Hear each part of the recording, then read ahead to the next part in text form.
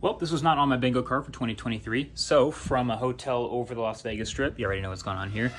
A little update on the headline you might have seen today Apple is officially, officially going to be supporting RCS on the iPhone starting next year in 2024. Big headline, a lot of waves it's been making, but a couple clarifications. First of all, it's not going to solve the blue bubble versus green bubble thing in the US. That's still going to be a thing here because the key is it's being supported alongside iMessage, which is still the blue bubble.